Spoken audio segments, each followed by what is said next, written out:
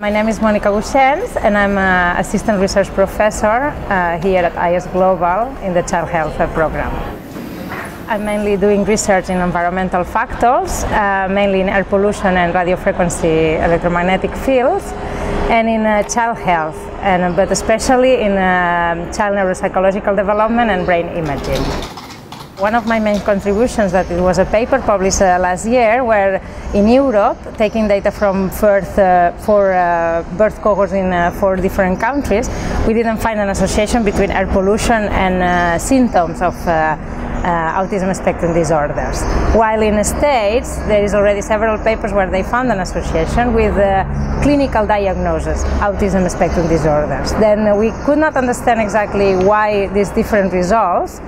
and uh, this is why it brings us uh, to start a project here in uh, Catalonia where we are going to try to replicate uh, the study the same way it was done in the States and here uh, to try to understand why we find different results than uh, the previous, if it's because we didn't take diagnosed children of autism spectrum disorder, if it's because different levels of air pollution or what was the main reason. I think uh, the research we are doing uh, can bring new insight on how environmental factors can affect the brain development in our children, and this may help uh, to implement measures to prevent uh, later problems, and if, uh, if necessary, of course.